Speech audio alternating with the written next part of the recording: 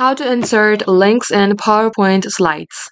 Hey guys, welcome back to our YouTube channel. In today's video, I'm going to show you how you can easily insert links onto any of your text in your PowerPoint slides.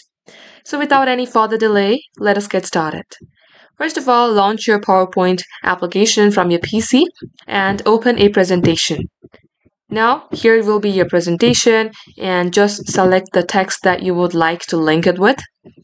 In my case, let's go ahead and link this tutorial. Once you select the word, right click onto it, then go for hyperlink. Under text to display, type in anything that you would like. And under address, you have to type in the URL of the text. For instance, if you type in here tutorial, you have to have a URL under address. Once done, click on OK. Just as you do so, you can see the blue underline and the blue color in the text. Now, in order to open it, press Ctrl and click this word.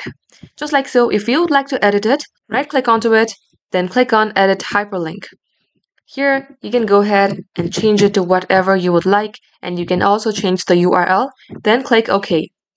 In order to remove the link, again, repeat the same process. Come onto the text here, select the text, right click onto it, then choose Remove Hyperlink, and that will convert the text into its normal form. Just like so, this is how you can do the same as well.